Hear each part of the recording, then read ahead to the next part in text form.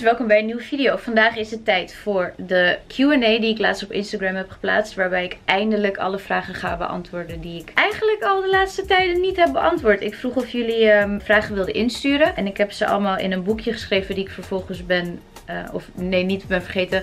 Ik wilde het boekje meenemen, maar toen was hij te groot voor in mijn tas. Dus ik heb ze nu hier. Ja, ik ga het niet mega lang maken, maar het is wel uh, de reden waarom ik dit opneem is omdat ik merk dat er best wel veel mensen zijn die zeggen van ja, uh, we hebben het idee dat je leven heel erg is veranderd en dat je ons niet echt heel erg hebt geüpdate over wat er gaande is. En ik snap best wel dat dat iets is wat je zou willen weten. Of als je dat langer volgt, dat je gewoon je afvraagt van hoe zit het nu eigenlijk.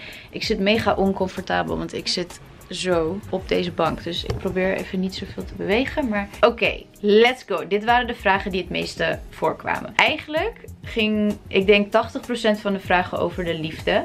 En vooral ook over uh, heel veel over Danny en over de break-up. En de meest gestelde vraag was: hebben jullie nog contact? Gelukkig wel. Ik spreek hem gewoon regelmatig. En kijk, weet je wat ik, wat ik altijd zeg? Voor mij is hij echt familie in die zin. Hij is, hij is zo'n belangrijk iemand in mijn leven geweest. En als je 13 jaar lang met iemand bent, dan is dat ook niet. Dat is echt wel anders dan denk ik in ieder geval dan wanneer je bijvoorbeeld één of twee jaar met iemand bent geweest. Dus het is, het is voor mij veel meer dan iemand waar je mee in een relatie hebt gezeten. Het is gewoon iemand die alles heeft meegemaakt. Dat is me forever mega dierbaar en waardevol. En wat ik ook eerder heb gezegd, er is niet sensatie geweest of zo. Weet je, ik weet dat heel veel mensen dat willen. En dat mensen altijd hopen dat er iets heel ergs is gebeurd. Maar dat was bij ons niet het geval. En het is life happened, weet je wel. En dan kan je soms misschien niet meer bij elkaar zijn als, als stel. Maar dat wil niet zeggen dat je niet nog heel veel om elkaar geeft. En een andere vraag was, wat vindt Danny ervan dat je alweer een nieuwe relatie hebt?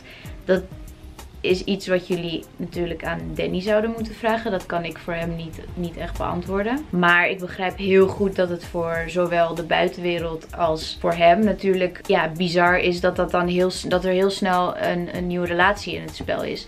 Maar dat is natuurlijk ook niet iets wat ik had gepland of wat ik voor ogen had. Of weet je wel, ik dacht echt oprecht van ik blijf gewoon twee jaar of zo of drie jaar, weet ik veel hoe lang, uh, vrijgezel na zo'n lange tijd. Maar zo ging dat niet. En dat komt meteen op de tweede vraag. Heel veel, of tweede onderdeel. Heel veel mensen vragen dingen over Nassim. Dat is mijn... Uh, vriend. Ik ben best wel terughoudend geweest over ons, maar ook over überhaupt om weer iemand voor te stellen in vlogs bijvoorbeeld. En ik heb dat nu één keer in de vlog gedaan. Ja, ik merk gewoon dat ik het wel moeilijk vind, weet je wel. Ook als mensen opmerkingen hebben of als mensen dingen zeggen. Ik ben daar toch best wel beschermend over. En dan denk ik, ik wil eigenlijk zo min mogelijk over mijn liefdesleven in vlogs uh, hebben. Omdat het gewoon zo kwetsbaar is. En, om, en zo was ik toen met Danny ook al. Weet je, ik, wil, ik, ik ben niet iemand geweest die heel erg van de couple foto's is. En dat je continu alles met z'n tweeën op Instagram voor de hele wereld doet. Ik ben daarin altijd best wel privé geweest. Ik vind het heel mooi als dat gewoon bij jezelf kan blijven, zeg maar. Maar ik snap heel goed dat dat iets is waar jullie natuurlijk echt niks van weten. En dat jullie zoiets hebben van wie is hij, wat doet hij...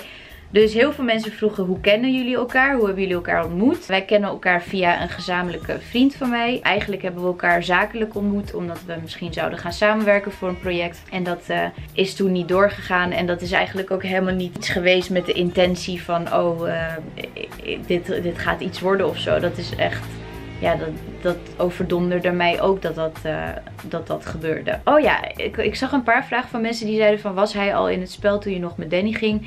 En dat vind ik echt zo'n absurde vraag. Nee, natuurlijk niet. Weet je, dat... dat nogmaals, er is nooit iets van sensatie geweest. Of dat er iets, dat er iets is gebeurd of zo. Waardoor het uit is gegaan. Het is, het is gewoon, dat heeft daar echt niks mee te maken. En dat vind ik ook naar Danny toe gewoon heel onrespectvol. En ook naar Nas toe eigenlijk. Dat daar suggesties over zijn. Of mensen, dat mensen dat heel graag zouden willen. Dat daar een soort van gekke uh, spel is geweest. Maar dat is gewoon niet zo. Weet je, als je het heel sec moet, moet samenvatten. Is het gewoon zo, ja, ik ontmoette hem. En ik ben gewoon verliefd geworden. En daar, daar, dat, daar kun je niet in het leven voor kiezen of zo. Om dat wel of niet te doen. En je kan wel op de planning hebben dat dat niet gebeurt. En dat dat niet zo snel gebeurt. Maar dat, ja, dat was nou eenmaal zo. En ik ben ook iemand die dat niet, uh, niet tegen wil gaan. Maar het is gewoon, ik voel heel erg een, een mega fijne match. En daarin is dat, dat is echt niet iets wat ik had, had verwacht te vinden. Maar ja, wij zijn echt wel heel, uh, heel happy samen. En iedereen vroeg ook van ja, waarom heb je zo snel die tattoo laten zetten. En dat is ook weer iets wat niet helemaal de bedoeling was dat dat naar buiten zou komen. Maar dat is in een hele soort van impulsieve bui in, in New York gebeurd. En um, was om twee uur s'nachts. En toen heeft die man dus, de tatoeëerder, heeft de foto's gemaakt en die heeft ze geplaatst. En ik had natuurlijk best wel kunnen bedenken dat dat dan vervolgens online zou komen en dat mensen dat zouden op, oppikken. Ja, waarom ik dat heb gezet na zo kort en iedereen zegt dan van ja, dat is zo dom en je weet niet wat er gebeurt en zo. Maar voor ons voelde dat gewoon goed. En ik ben, ja, ik heb niet eh, dat ik dan denk, oh het is een tatoeage en het blijft forever. En ik uh, moet dit niet doen, want wat als er iets, iets misgaat of zo. Ik snap best wel dat dat niet iets is wat iedereen zou doen. Maar voor ons was dat gewoon een hele, eigenlijk bijna een hele normale beslissing. Ik was ook alle mensen waar ik mee was op dat moment, Lizzie en Tamara en zo en Sonny. Niemand zei van, oh dit is echt het domste wat jullie gaan doen. Dus dat had me ook niet uitgemaakt. Ook al had iedereen gezegd, je moet dit never nooit doen. Maar het is gewoon iets wat voor ons is. En uh, ik, ga, ik hoop echt wel dat jullie hem ook wat meer kunnen leren kennen in de vlogs. Want hij maakt mij heel blij. Dan over YouTube. Heel veel vragen over YouTube. Hoe komt het dat je uh, minder persoonlijk bent geworden de laatste tijd? Nou, dat kan ik jullie heel goed uitleggen. Dat komt eigenlijk door al die omstandigheden bij elkaar. Het begon eigenlijk toen mijn stiefvader overleed. Toen Ed is overleden, toen was ik sowieso heel erg van de kaart. En ik vond het allemaal heel moeilijk om dan weer vrolijk door te gaan vloggen. En kort daarna is het natuurlijk met Danny uitgegaan. En die gebeurtenissen, dat vond ik zo heftig allemaal hoe dat ging. Dat ik uh, even niet meer de wil en de, en de drive kon vinden om echt persoonlijke content te maken op YouTube. En het komt ook, als ik heel eerlijk ben, door best wel door negatieve comments en door de media. Want ik merk gewoon Eigenlijk sinds, het, sinds dat mijn vorige relatie over is, merk ik heel erg dat echt linksom of rechtsom, zeg maar, alle dingen die wel of niet in video's komen, of kleine dingen die ik in interviews zeg, die worden zo erg vaak uit context gehaald. En ik vond dat gewoon te moeilijk. Ik vond het heel zwaar om daar mee te dealen en om dan elke keer weer geconfronteerd te worden met uh, suggesties van mensen of insinuaties of roddels waarvan, die helemaal niet waar waren, weet je wel, maar waar mensen in mijn omgeving wel door werden geraakt. En ik, ik kon ook even al die negatieve reacties niet aan. Ik denk dat het... Misschien is dat ook wel, ik heb het daar wel eens met Masja over, dat dat de curve is, zeg maar. Dat je, als je begint met uh, YouTube en als je groot wordt, heb je eerst heel veel positieve reacties. Dan komen er een beetje wat minder leuke. En dan komen opeens heel veel negatieve reacties. En ik merkte dat ik daar best wel tussenin zat, zeg maar. Dat ik eigenlijk voor mijn gevoel niet zoveel kon zeggen of doen zonder dat iemand daar een, een best wel negatieve mening over had. En ik snap super goed hoor, omdat ik verder geen uitleg gaf over mijn leven, dat iedereen dan zijn eigen verhaal bedenkt. En als er dan nog van die acties van de tatoeage en zo bij komen, dat mensen dan echt denken van nou, die is helemaal gek geworden en die sport niet meer. Maar het was een fase waar ik zelf doorheen moest en waar, waarvan ik het heel moeilijk vond om dat publiekelijk te doen. Dus alles wat ik kon doen om mezelf te beschermen en zoveel mogelijk bij mijn naasten te houden. Dat heb ik toen gedaan. En dat, heeft, dat was misschien niet het allerslimste om te doen, want daardoor merk ik wel dat ik bepaalde connectie kwijt ben met misschien ook wel jullie. Die wel vanaf het begin hebben gekeken. En ik leer nu ook wel dat er echt super veel lieve mensen ook zijn hoor. Dus dat is wel echt, uh, dat is wel echt heel fijn. Ook op de laatste vlog. Weet je, tuurlijk zijn er nog steeds mensen die dan zeggen van ik mis je oude leven. Of ik mis, ik vind dat jij bent veranderd of zo. Maar je moet ook wel beseffen dat ik dit werk al best wel lang doe. Dus het is ook niet heel gek als je door de jaren heen. Ik hoop voor iedereen dat je door de jaren heen verandert. Weet je wel? Je kan niet 100 jaar dezelfde persoon blijven. Dat, is, dat lijkt mij. Ik hou heel erg van verandering en uh, beweging in het leven. En, uh, dus dat is de reden. Maar ik ben wel weer bezig om het iets meer op te pakken. En om gewoon daar waar het goed voelt voor mij en daar waar het chill voelt om wel gewoon dingen te delen. Maar ik moet je wel echt zeggen dat ik nog nooit eerder zo erg als nu me heb, dingen heb kunnen aantrekken van reacties. Gewoon dat eigenlijk alles wat heel onaardig is of gemeen. Ik merk wel dat ik dat best wel meeneem naar huis. En dat ik daarmee kan gaan zitten. Terwijl ik eigenlijk moet denken van ja, laat lekker gaan. Wat weten ze er nou van? Maar het is gewoon best wel lastig hoor. Om dan heel erg jezelf weer te ontdekken. En dat doen terwijl er veel mensen meekijken. Ook al is het iets waar ik zelf voor heb gekozen. Waar ik zelf voor heb gevraagd. Ook heel erg een vraag van hoeveel verdien je nou met YouTube en met Instagram? Dat is heel verschillend. Want je kan in dit werk nooit zeggen of je, dat je een vast maandbedrag hebt of zo. Dat is het niet. Wat wij eigenlijk doen is dat je net als hoe bladen werken of hoe tv werkt of hoe andere media werken. Is dat je gewoon veel campagnes doet. Dus dan heb je bedragen die vooraf afgesproken zijn voor een bepaalde periode. En de ene keer is dat heel lekker en de andere keer heb je gewoon hele rustige maanden dat het, uh, ja, dat het, dat het veel minder lekker loopt. En het is ook wel best wel een onzekere business wat dat betreft. Ik ben heel blij dat wij veel meer doen dan alleen maar YouTube en Instagram. Dus wij zijn eigenlijk als bedrijf, denk ik, halen wij ons geld uit allerlei verschillende manieren van samenwerkingen. En dat maakt dat het ook wel een bedrijf kan zijn. En, en dat er mensen kunnen werken voor dat bedrijf. En ik vind altijd Uh, ik, ik vind dat Masha toen wel goed had uitgelegd in haar video over wat verdien je er nou mee. Als je die even gaat kijken, in ieder geval qua hoe dat werkt met uh, campagnebedragen en wat er ongeveer in om kan gaan, dan kan je dat daar doen. Maar het is nog steeds wel. Ja, het is denk ik toch iets waar, waar, waar niemand heel uh, duidelijk een antwoord op kan geven. Omdat het ook nooit helemaal hetzelfde is. Wij hebben ook nooit dat we standaard prijzen hebben voor posts of zo. Weet je wel, je maakt gewoon indicaties op basis van samenwerkingen en budget eigenlijk. Oh ja, ik kreeg echt super veel vragen over of ik een kinderwens heb. En ook echt heel veel mensen die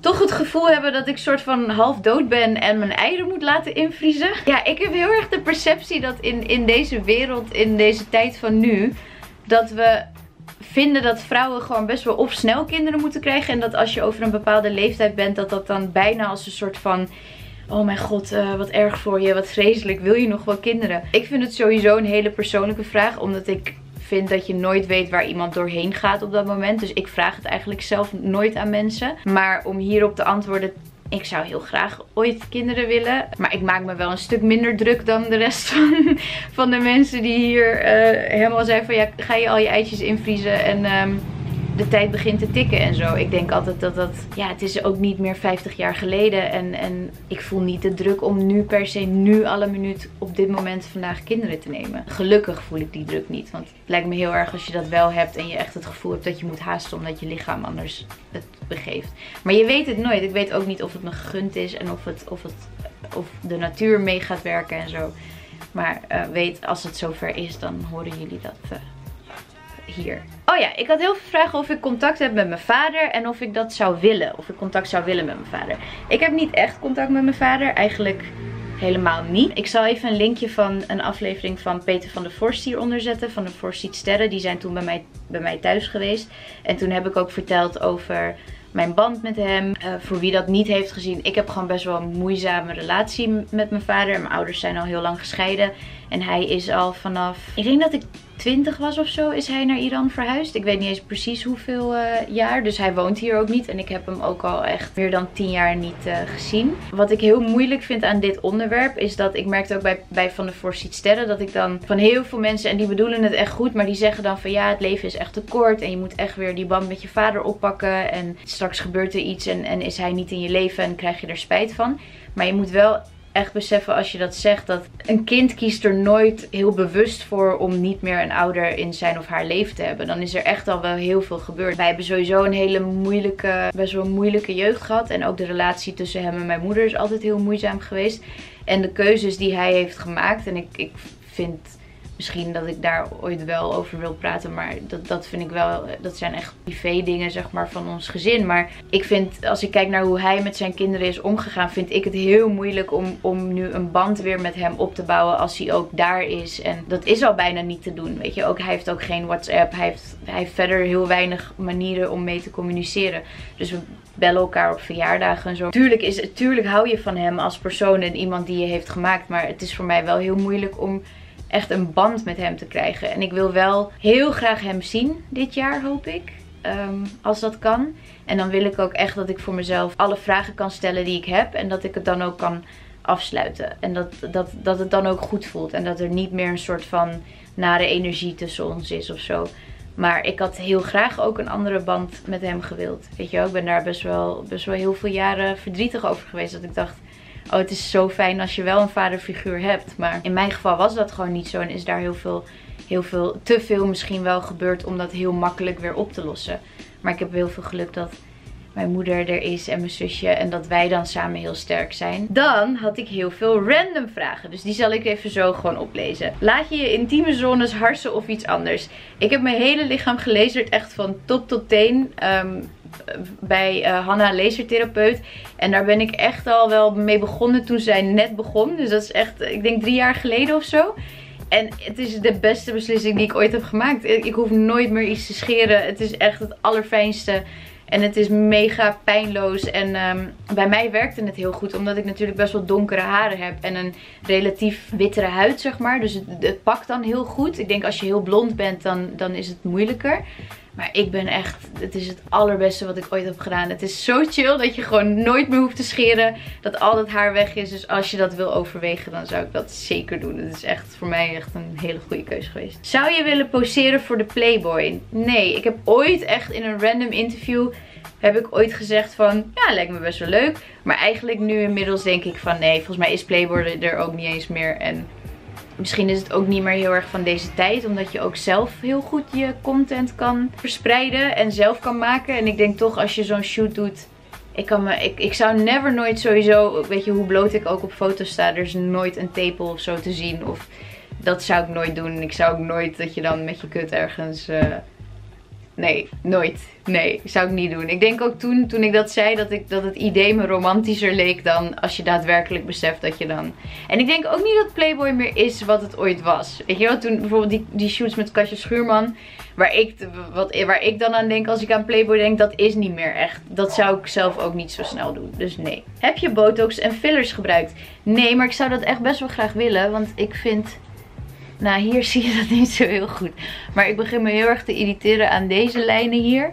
En aan dit zo hier. En ik zou heel graag wel mijn wallen uh, weg willen. En als dit een beetje zo iets hoger kan. En ik wil super graag, maar ik ga dat niet doen uiteindelijk. Want echt iedereen uh, uh, waar ik van hou is daar flink op tegen. En ik vind dat toch wel, wel redelijk belangrijk. Maar ik zou heel graag mijn lippen willen doen. Nu doe ik de hele tijd met een liplijntje.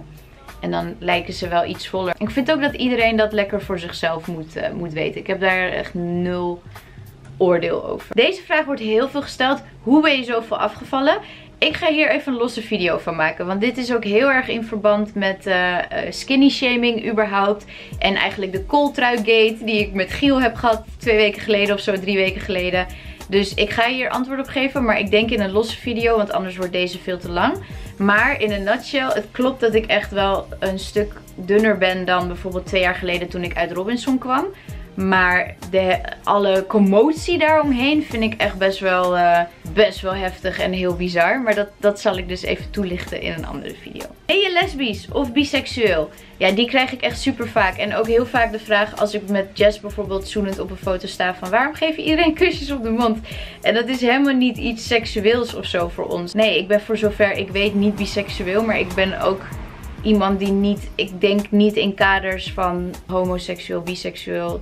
Ik denk gewoon dat je verliefd wordt op een persoon. En ik ben tot nu toe altijd verliefd geworden op jongens. Maar ik, ik, heb helemaal niet dat ik denk van dat dat nooit een vrouw zou kunnen zijn of zo. Ik denk toch dat je dat, dat, dat, dat als je een beetje probeert om open-minded te denken. Dat je, um, dat kan natuurlijk in principe altijd gebeuren als je op mensen valt. Als je gewoon houdt van menselijke energie. En als dat dan een keer een vrouw blijkt te zijn, dan zou dat best kunnen. Maar dat is niet gebeurd.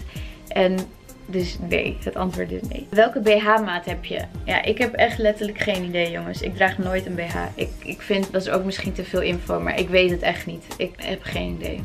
Weet ik niet. Ik vind gewoon, eigenlijk merk ik gewoon dat ik het heel chill vind zonder BH. En, en heel veel mensen vinden dat heel heftig om te horen. Maar ik vind het gewoon veel lekkerder zitten. Ik heb dan liever nog sport BH's aan eigenlijk dan echt van die BH's BH's. Ik vind het super mooi. Dus ik vind het voor, voor het mooi vind ik het, vind ik het top. En het lijkt me fantastisch als je een hele kast hebt met hele mooie lingerie. Dus dat is, het is niet dat ik geen liefde heb voor lingerie. Het is alleen dat ik in mijn dagelijkse leven het relaxter vind zonder BH. Betaal je je reizen zelf en waarom, ben je zo vaak op vakantie? Die zag ik ook heel vaak. Sowieso is, kijk, vakantie, mijn echte vakantie was naar Kaapstad. En die hebben we helemaal zelf betaald. Het huis, uh, alle restaurants, overal waar we hebben gegeten, vliegtickets. Als ik op vakantie ben, is het echt 9 van de 10 keer volledig zelf betaald. Alleen, wat ik heel goed snap, is ik moet best wel vaak op reis voor, of, uh, voor campagnes of voor lanceringen. En die zijn dan in het buitenland. En dat zien heel veel mensen ook als vakantie, omdat ik ook op dat soort momenten alleen maar natuurlijk foto's deel van eh, dat ik op een strand zit of dat ik ergens lig of zo. Maar in die end ben ik dan wel vaak echt nog wel veel aan het werk. En dan moet je denken aan dat je of in, in de ochtenden gewoon nog je meetings uh, via de telefoon doet en al je mailtjes en alle invullingen van alle campagnes bijwerken. En dan ben je vaak nog op de plek echt zelf waar je voor bent. Dus of op het event of op de shoot of op de lancering of op whatever je aan het doen bent op dat moment.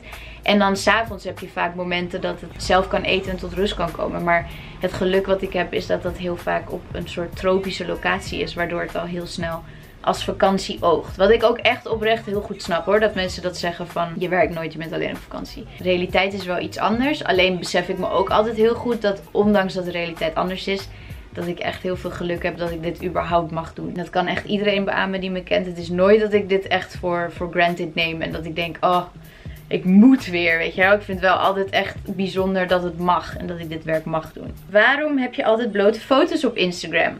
Deze vraag komt ook heel erg vaak. Ja, ik heb daar niet echt een goed antwoord voor. Behalve omdat ik het wil. Het is zeg maar, ik had deze discussie laatst ook met mijn vriendinnen. En toen zei ook eentje van ja, maar ik snap het wel. Want ja, het is soms ook echt, echt best wel extreem en heel bloot. En oh ja, want wat mijn vriendin toen zei was van ja, kijk, je bent, je bent heel slim. En de meeste mensen, als ze alleen maar die foto's zien zullen ze dat niet echt doorhebben. Dus die denken dan waarschijnlijk dat je uh, gewoon een of andere leeghoofd bent uh, die weer in een bikini staat te poseren. En wat ik heel fijn zou vinden is als die twee dingen gewoon totaal niet in uh, connectie met elkaar staan. Want ik vind dat iemand die heeft gestudeerd, die kan net zo goed in een bikini rondlopen. En zeg maar, ik ben, ik ben daarin misschien ook wel iets te vrij. Dat ik, dat ik daar helemaal nooit een... Ik kan ook heel erg genieten bijvoorbeeld van de foto's van Kim. Uh, Kim Kardashian. En zij heeft dan juist zoiets van nee, ik vind dat echt te veel borsten en te veel billen in mijn scherm als ik mijn Instagram open doe. En de reden waarom dat voor mij is, is kijk, sommige vrouwen werkt het bevrijdend en, en versterkend als ze zichzelf heel erg bekleden. En als ze dat heel erg voor zichzelf houden. En voor sommige vrouwen werkt het juist versterkend als ze dat deel wel met de wereld kunnen delen. En ik vind, ja, nu kan het. Nu voel ik me daar goed bij. Nu, nu uh, ben ik niet 80 en heb, je een ander lijf. En ik vind, ik zie daar niet uh, heel veel kwaad in, zeg maar.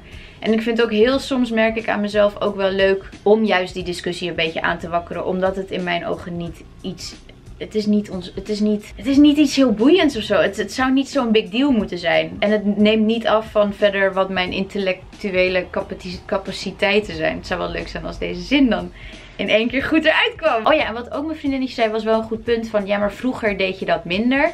Ja, vroeger was ik ook een stuk jonger en voelde ik me daar ook minder prettig bij. Dat heeft ook gewoon te maken met dat je dit werk al wel wat meer jaar doet. En dat je ontwikkeld in je, in je persoonlijke ontwikkeling. En nu voel ik me daar fijner bij en toen misschien niet. Het is, niet heel, het is allemaal niet heel erg uh, een soort gekke intentie van oh dit moet iets opleveren of zo. Het is gewoon, ik plaats vaak gewoon waar ik zin in heb. En als dat op een strand is wat heel mooi is dan... Uh, doe ik dat. Oh ja, wat is er met je huis gebeurd dat je had gekocht? Nou, die wordt nog steeds gebouwd. Ik heb twee jaar geleden een huis gekocht. En die is nog steeds in de, in de aanbouw eigenlijk. En dat duurt echt veel langer dan verwacht. Dus ik heb nu eigenlijk twee, uh, twee woonlasten waar ik, uh, waar ik in zit. Wel een heel fijn huis. Ik heb in de vorige vlog heb ik een soort van house tour gedaan over waar ik nu dan woon. En ik, moet, ik ga dat best wel missen ook. Het is echt een heel fijn huisje. Maar ik hoop wel dat ik dit jaar voor de zomer nog in mijn nieuw huis kan. En dan krijgen jullie volop een tour. Oh ja, en deze vraag zag ik best wel veel. Waarom had je ruzie tijdens Holland's Next Topmodel?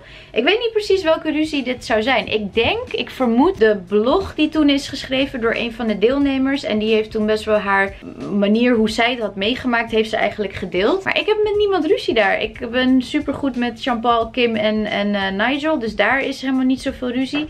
En met kandidaten mag ik gewoon niet zoveel contact hebben. Dus ik mag eigenlijk niet met ze praten als we op de set, zeg maar buiten de set om zijn. Ik, ik mag dat niet echt doen. Want je moet natuurlijk een bepaalde objectiviteit houden. En dus ik, ik, ik weet niet welke ruzie dit is. Als jullie weten waar dit precies over gaat, moet je me laten weten. Maar weet dat dat uh, in principe elk seizoen is het gewoon dat je wel met z'n allen, ook vooral met de, met de productie en de crew, heb je gewoon een hele fijne band. En met de kandidaten is het altijd heel fijn en leuk als je op de set bent. Maar buiten de set om is het dus niet zo dat ik, dat ik veel met hun mag gaan socializen. Of dat ik continu mag vragen hoe ze zich voelen en zo. Want dat is ook een beetje het werk van de productie. Ja, ik, ik snap wel heel goed dat zij dat zo heeft beleefd. Want dat is ook haar perceptie. En dat is hoe zij dat voelt. En daar, daar kan je denk ik niet echt een goed of fout oordeel over hebben.